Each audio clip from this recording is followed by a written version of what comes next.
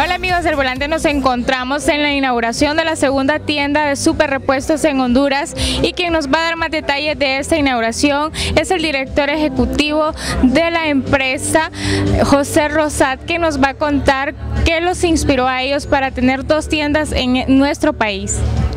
Sí, muy buenas noches a todos los televidentes. Realmente eh, estamos muy orgullosos de estar inaugurando esta almacén aquí en el anillo periférico, nuestro segundo almacén de superrepuestos. Nosotros iniciamos operaciones en Honduras con un almacén con Mayahuela hace ya un año.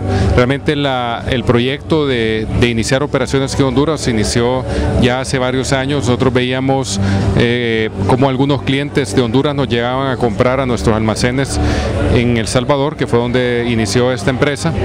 Y entonces eh, vimos la oportunidad de, poder seguir creciendo, vimos que había un mercado que, aceptaba nuestra propuesta de valor y fue por eso que también decidimos aventurarnos y asumir el reto, ¿verdad? Y aquí estamos después de un año eh, muy contentos porque hemos encontrado muy buena acogida por parte de los clientes, hemos encontrado un personal muy entusiasmado, muy capaz, también que nos ha ayudado a llevar adelante este proyecto y eso nos entusiasma pues a seguir adelante. Nosotros con nuestra visión de ser líderes en Centroamérica y los mejores en mantener sonrisas y vehículos en marcha, nos eh, hemos motivado pues a continuar creciendo aquí en este país ofreciendo nuestra propuesta de valor de super variedad, super marcas y super garantías. Ofrecemos tenemos un inventario amplio eh, de repuestos con una gran variedad de marcas para todo tipo de vehículos, por lo cual nos sentimos bastante confiados de poderle responder si lo tenemos a todas las necesidades que tengan de problemas automotrices.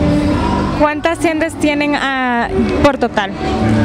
Este es nuestro 18 almacén en la región centroamericana, el segundo en Honduras, eh, sin embargo es, es, el primero que cuenta con estas dimensiones, con estas características, eh, en donde tenemos un amplio inventario, una capacidad para almacenar más de 60 mil eh, diferentes tipos de repuestos, además de poder servir y distribuir con nuestro servicio de domicilio en toda la región cercana.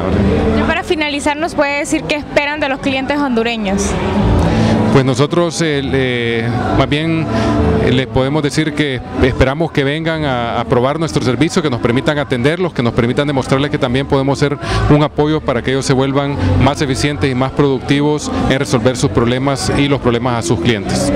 Muchas gracias.